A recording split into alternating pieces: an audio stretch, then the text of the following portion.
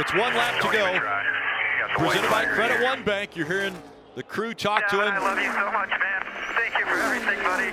Last two first-time winners, Ryan Truex at Dover, that was his home track. Sam Mayer at Road America, that was his home track. And now Riley Herbst, a Las Vegas native with 50 to 60 of his friends and family in the grandstands are here to witness his first ever win in the Xfinity Series.